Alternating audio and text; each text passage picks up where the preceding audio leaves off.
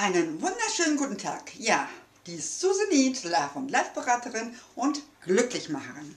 Heute möchte ich was sagen zum Thema Nie mehr Lügen, radikale Ehrlichkeit.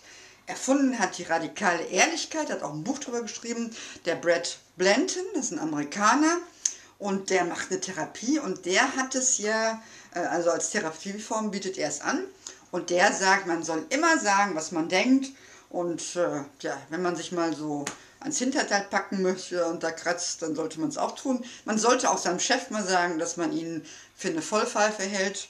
Kann natürlich ziemlich Konsequenzen haben, wenn man das im Privaten macht, bei Partnern, Freunden, Verwandten und sonst wie. Die gucken ganz schön blöd.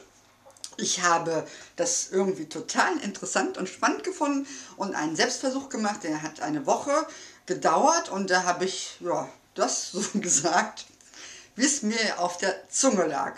Äh, ich muss sagen, äh, es hat nicht immer nur freudige Reaktionen hervorgerufen, aber ich fühlte mich verdammt gut und ganz ehrlich super befreit. Also ich würde es jedem anraten. Ähm, radikale Ehrlichkeit heißt nicht, jemanden auf Teufel komm raus zu beleidigen, das nicht, aber mal zu sagen, wie es einem geht und was einem bei anderen schon lange auf den Wecker ging, das tut wirklich gut.